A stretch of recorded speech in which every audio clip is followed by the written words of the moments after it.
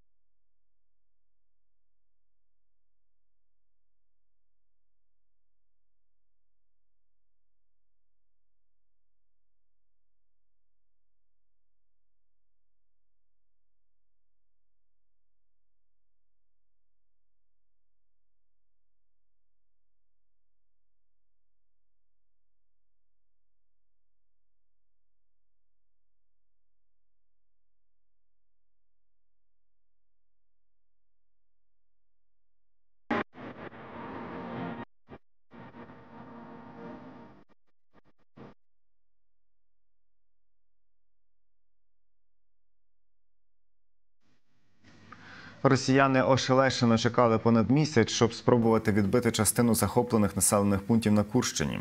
Що вдалося ворогу і куди він просунувся на власній території? Про це кажуть військові експерти. А самі ж військові рекомендують менше зважати на істерики в соцмережах. Про ситуацію на Курщині і про нові несподіванки для Мурманської області та аеродрому Оленя. Матеріал Олексія Пасака.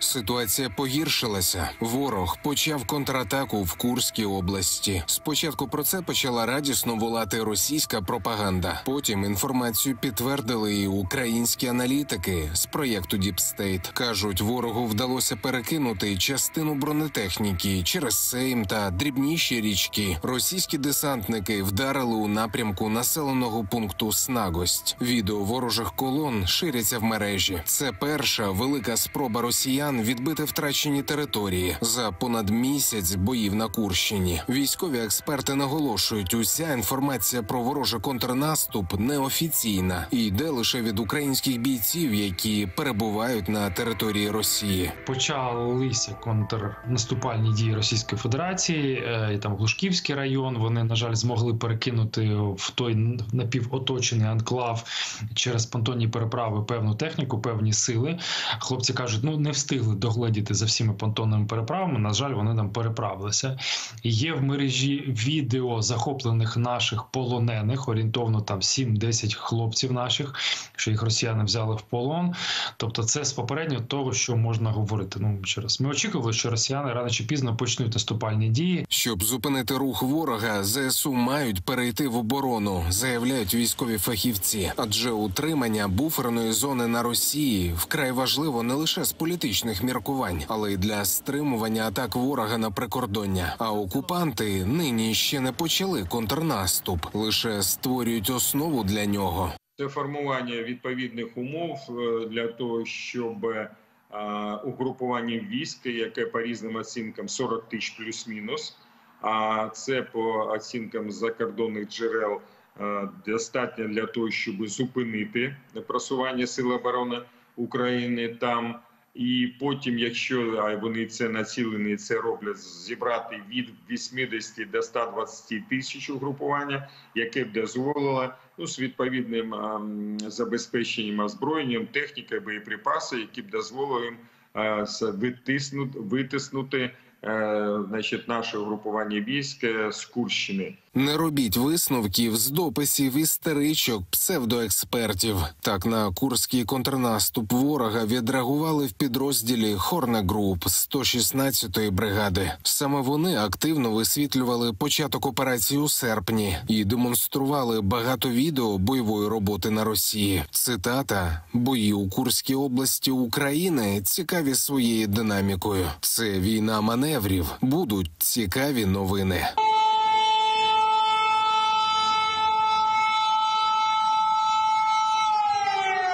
А тим часом цікаві новини знову у Мурманській області. За 1800 кілометрів від кордонів з Україною ворог скавчить про наліт дронів, які хочуть уразити аеродром стратегічної авіації Оленя. Дорогие друзья, на нашу область э, нальоти вражеських беспилотников. Друзі, на нашу область здійснюються нальоти ворожих безпілотників. Тому прошу з розумінням ставитися до низки тимчасових обмежень, які нам доводиться запроваджувати. Усі необхідні заходи щодо підвищення безпеки вживаються. ППО працює по ворожих безпілотникам. Я прошу довіряти офіційним джерелам інформації. Навіть ешелонована російська ППО вже не може впоратися із масованими атаками безпілотників. Російські буки та панцирі починають економити ракети, щоб раптом не прогавити велику ціль. Про це пишуть російські військори. Росіяни читають їх зізнання і дивляться в небо на новий проліт українського дрона. Олексій Пасак, п'ятий канал. Довкола Покровська точаться важкі бої. Цей відтинок залишається одним з найгарячіших на фронті. Там ворог тисне зусебіч, щоб хуткіше захопити місто і розширити фронт. Ресурси в окупантів для цього є. Попри те, що минулого тижня головком Олександр Сирський заявляв про поліпшення ситуації на Покровському напрямку і що росіяни за шість днів не просунулися ні на метр. Що там відбувається, які перспективи зберегти місто з військовими аналітиками спілкувалася Марта Шикула. Звуки артилерії, потрощені будинки, зачинені магазини та аптеки. На вулицях все менше людей. Виїжджають. Їдуть машинами. Евакуаційні потяги більше з Покровська не курсують. Небезпечно.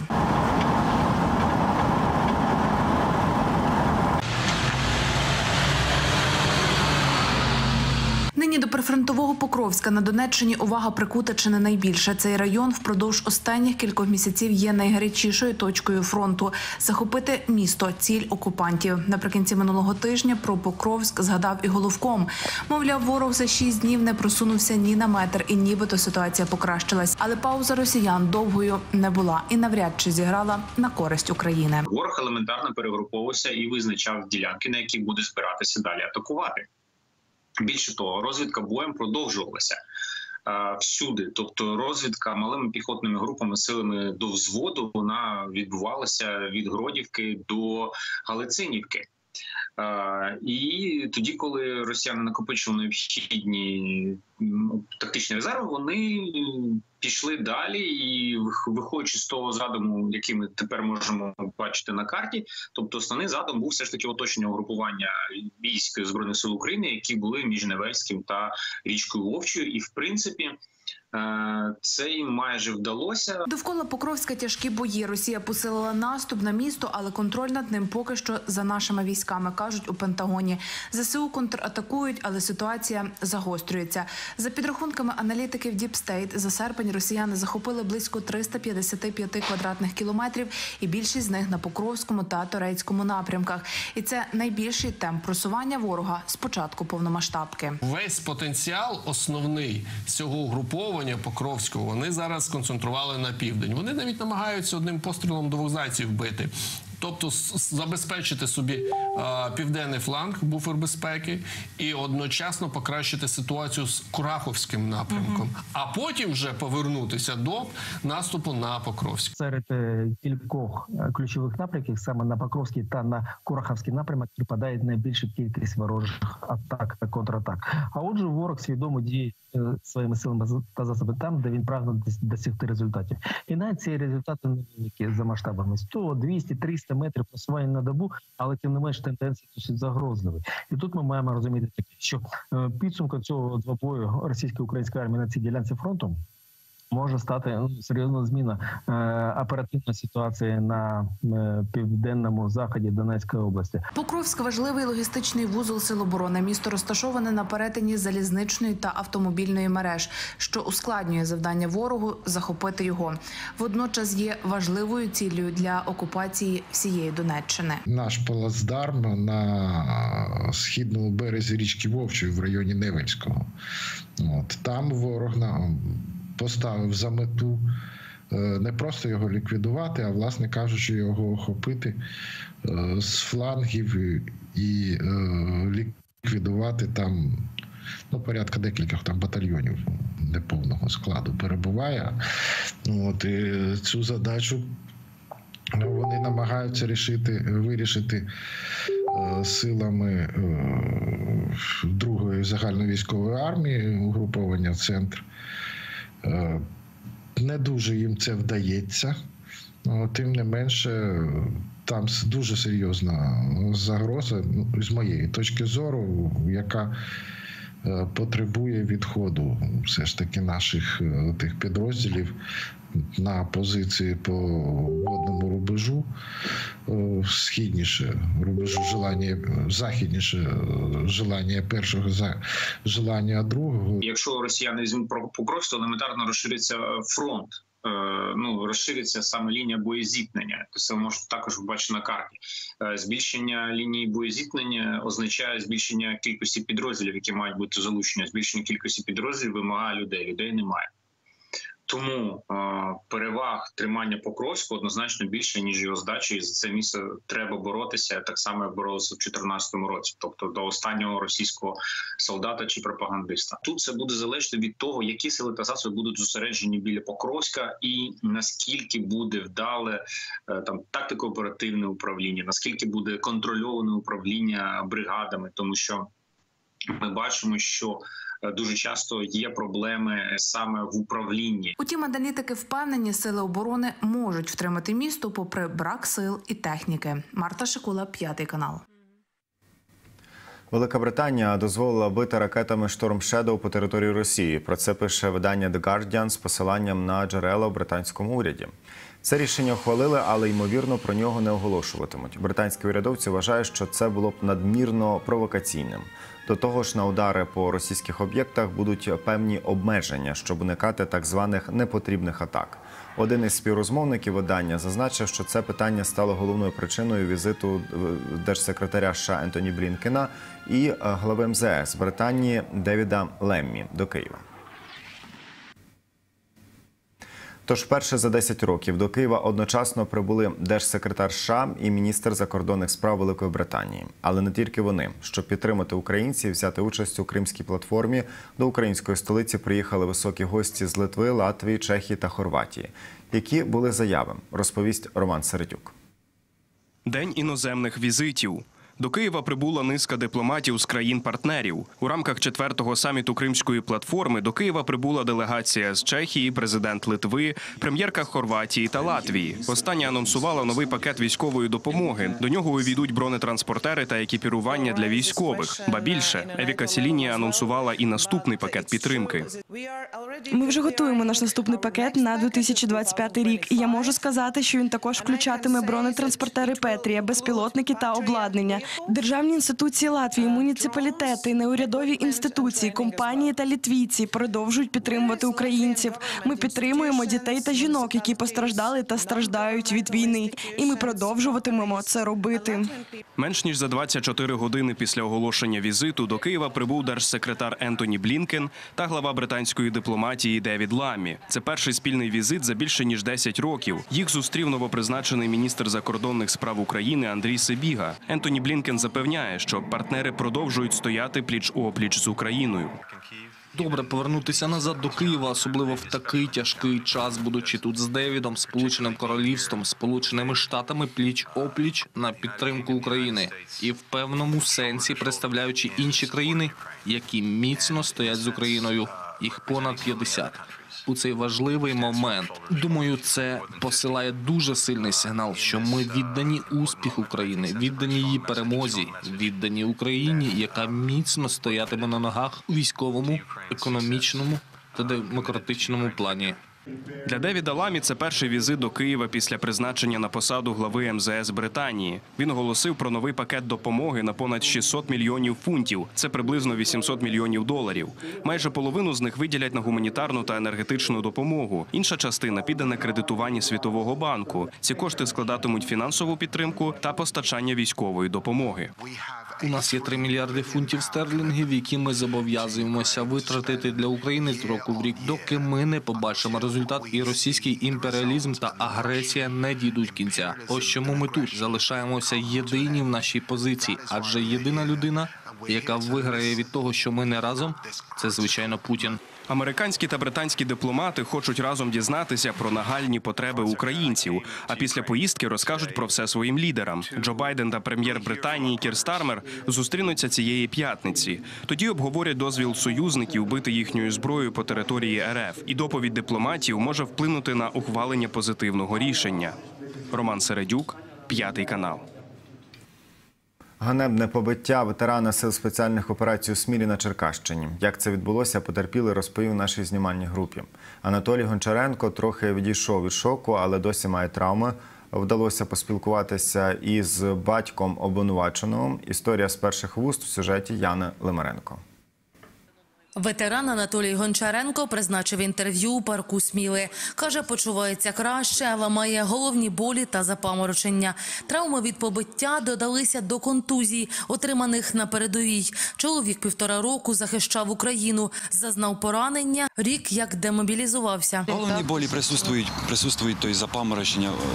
Основне це утром, тому що коли я встаю, то починається, ну, можу, можу пошатнутися. Історія, яка обурила українців, трапилася на початку вересня. Анатолій каже, невідомі образили його батьків на дорозі, підрізали автівкою та кричали. Батьки злякалися. Чоловік взявся шукати це авто на євробляхах через соцмережі. Знайшов. Господаря не застав, тому щоб той не уник покарання, зняв номер. Він одразу знайшовся сам. Номер телефона цей Вадим Долотенко е, написав там погрози. Зателефонував, він почав мені погрожувати. Ти не знаєш, з ким ти зв'язався. Я тебе порву там. Тобто твої батьки всі ну всі пострадають. Власник номерів вимагав зустрітися. Цю зустріч вже вся Україна бачила в соцмережах на аматорському відео. Анатолій каже, до нього підійшли шестеро. Серед них Вадим Долотенко, до якого згодом приїхав його батько. Кілька разів били по голові. Наніс мені удар по, по ребрах. У мене під рукою були його номера. Він ударив і почав і сказав, каже мені, почав обзивати там поганими словами. Сказав, що ти засвітив машину в інтернеті, е, засвітив мене. З тебе 5 тисяч доларів до завтра. До завтра. Якщо в тебе завтра не буде, коротше, 5 тисяч доларів, буде 10. Післязавтра буде 15. І так каже він, шукай гроші. Батько наніс мені теж удар по обличчю. Я вже присі- присів, дуже смутно пам'ятаю цю історію. Присів, е, Долотенко зі мною спілкувався. е, Я дивився на нього, е, тільки побачив в той момент, коли він комусь махнув головою і произ- удар у- висок мені, і я відключився. Постраждалого забрали до лікарні. Він спочатку написав заяву до поліції на нападників, але коли відпустили з лікарні, поїхав забрав. Потім виклав у соцмережі вибачення, яке вимагав молодик. На дорозі. Батьки були неправі в даному випадку. Приносив вибачення хлопцям. Ця система, да, я побачив, що це за люди. Саме перше переживав за своїх батьків. За своїх батьків, тому що і, на другий день, на другий день я в цьому впевнився. Бо коли він мені позвонив і позвонив його батько, а він мені сказав, це твоя смерть дзвоне. І через то я написав звернення в інтернеті, так як вони мені сказали. Все змінилося, коли про інцидент дізналося місто Сміла. Люди підтримали Анатолія в соцмережах і прийшли до міської ради вимагати покарання для зловмисника. Чому його не затримали, не перевірили про наявність зброї? Він же ж приїжджав із зброєю погрожувати. Спільники Міршука отого. Цього всього не було здійснено. Тому ми й задаємо запитання. Чому? Далі ситуація набула розголосу. За Анатолія вступилася вся країна. Він повірив у справедливість і погодився написати ще одну заяву до поліції. За добу Вадима Долотенка оголосили у розшук і майже одразу затримали. Він перебував в одному із готелів на Черкащині, і цього разу вибачався він. Приношу вибачення українському народу, українській армії за цю ситуацію. Так я ну, взагалі не я поважаю українську армію, український народ і не, дана ситуація вийшла просто ну, не повністю розібраною. Тобто я не хотів так, так щоб вийшло.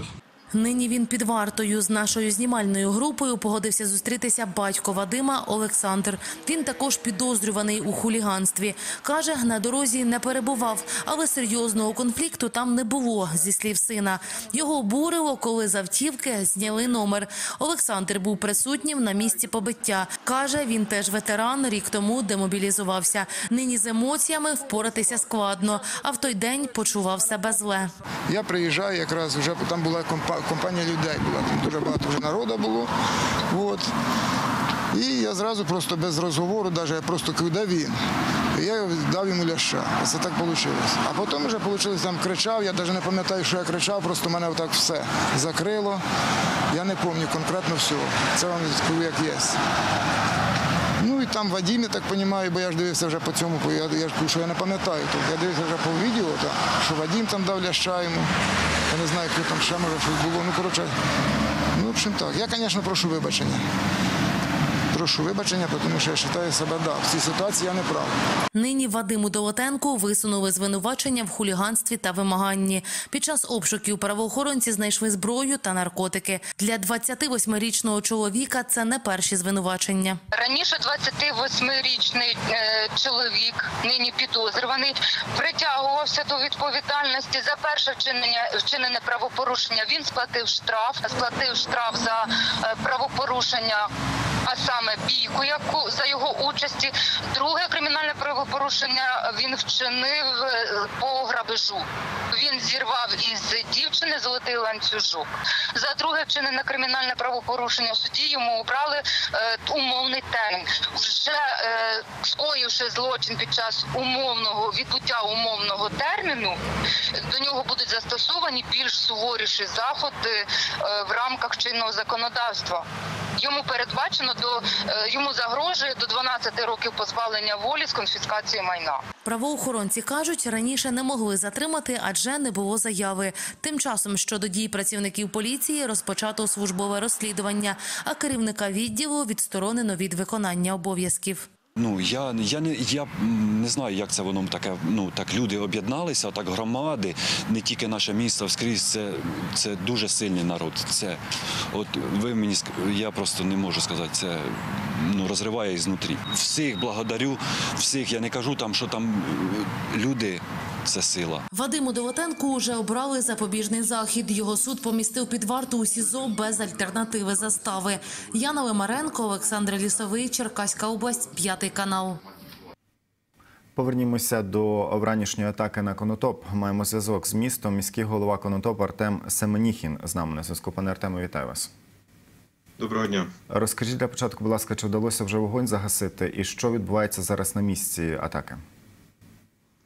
Е, Вогонь загасили ще вночі після прильоту продовж години. Е, Дякую нашим надзвичайникам, дякую нашим міжнародним партнерам, які надали пожежну техніку для того, щоб ми могли виконувати подібні завдання. Е, Зараз на даний момент йде е, обстеження безпосередньо тих територій, де відбулися прильоти, де є постраждалі будинки, постраждалі магазини, постраждалі офіси, постраждалі навчальні заклади. І е, іде паралельно е, обстеження е, території на, скажімо так, наявність якихось речових доказів. Працюють правоохоронці. Паралельно працюють наші комунальники над очищенням цієї території від того, що там зараз коїться і робиться. Пане Артему, в якому стані потерпілі? Чи перебувають вони в лікарні зараз? І загалом, наскільки ми бачимо з тих кадрів, є пошкоджені житлові будинки, де зараз люди?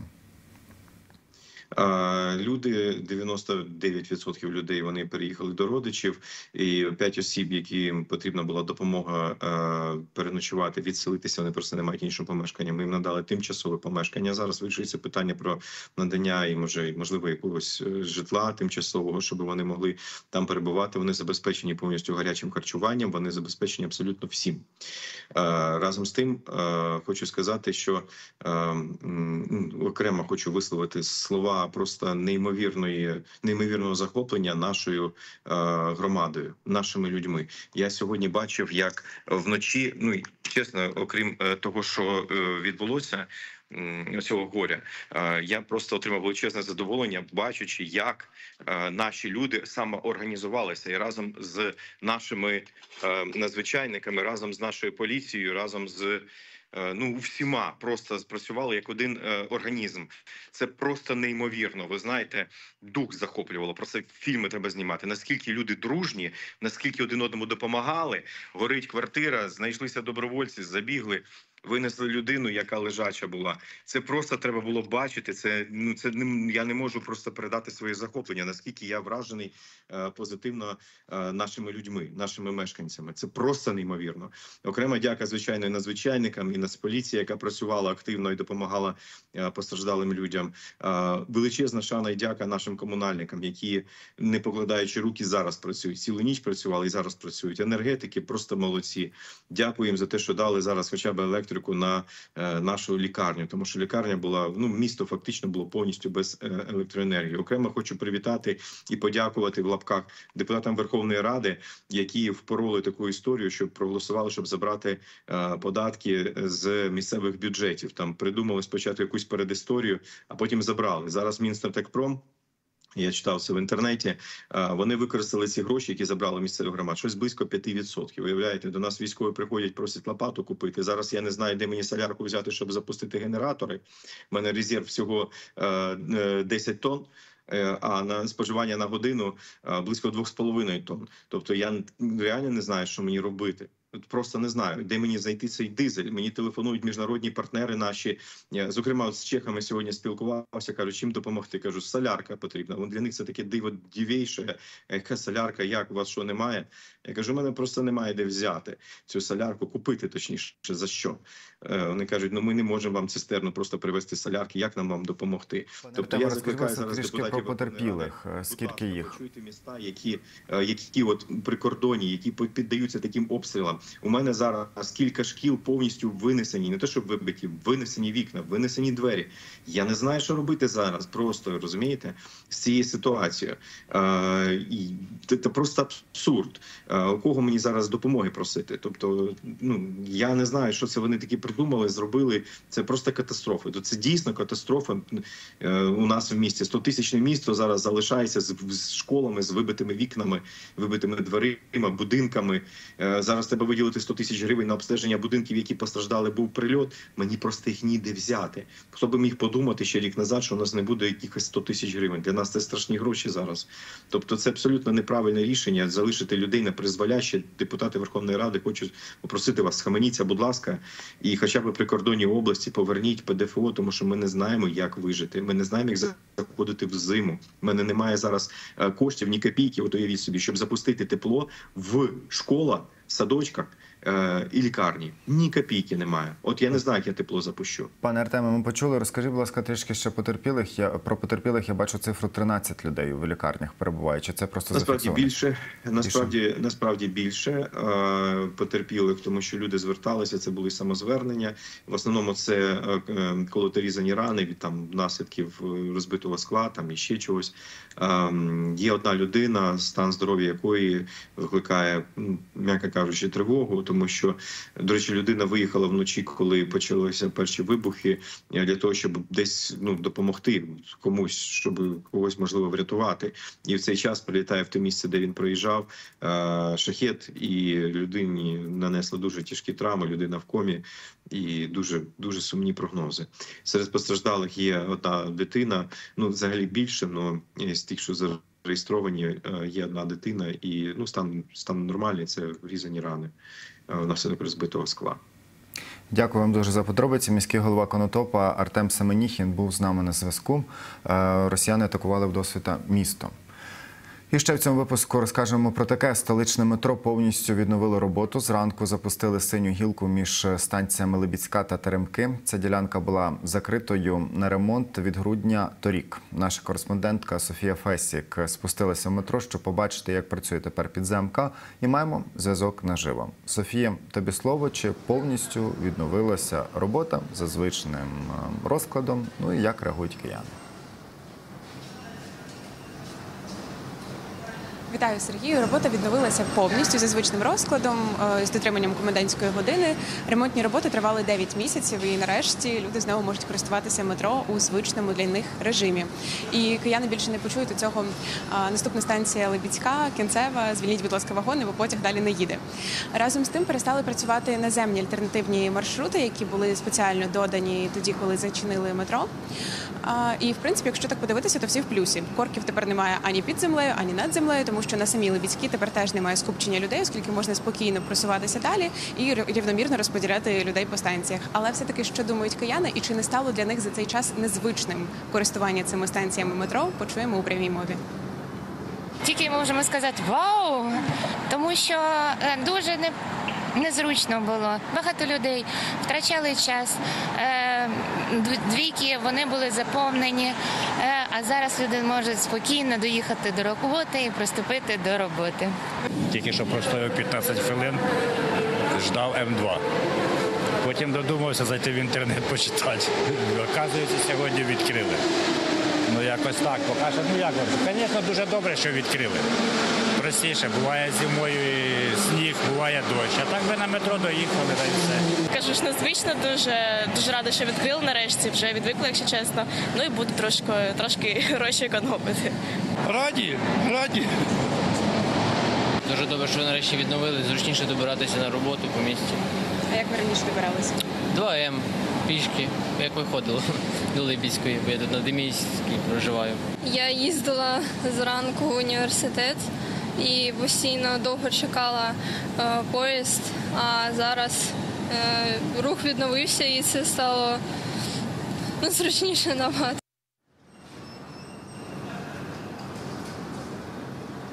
Нагадаю, що торік у грудні екстрено закрили шість станцій синьої гілки київського метрополітену через е, можливість підтоплення. Незважаючи на те, що ці станції були відносно молодими, їх побудували лише у 2010 році. Але як показала експертиза, причина розгерметизації була закладена насправді ще на самому початку під час проєктування та власне будівництва. А, Дев'ять місяців потяги від Демі... від Деміївської до Теремків курсували човниковим рухом, що значно сповільнювало роботу метро, оскільки між ними були інтервали близько 15 хвилин. Також був додатковий автобусний рух, е, наземний транспорт, але все одно це не те.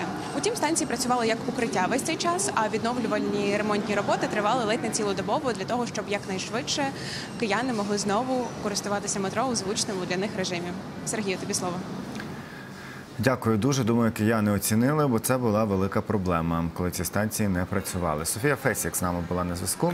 Е, Підземка Київська запрацювала повноцінно. Марафон Незламна країна. Далі аналізуємо ситуацію на Курщині, а також біля Покровська. І нарешті, вочевидь, отримуємо дозвіл бити вглиб Росії Storm Shadow принаймні. Все це буде далі.